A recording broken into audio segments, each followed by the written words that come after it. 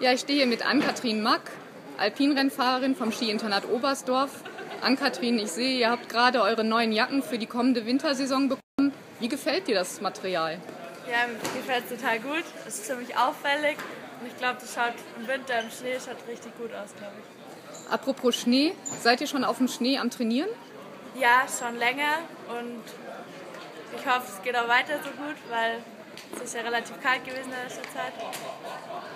Wie sieht das Training denn im Moment aus, so die Wettkampfvorbereitung?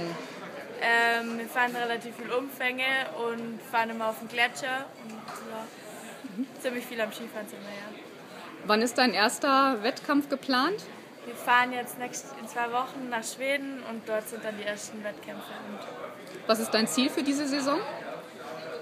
Gescheit fahren, mal schauen, was rauskommt. Einfach das Beste rausholen, was geht. Ja, super. Vielen Dank. put.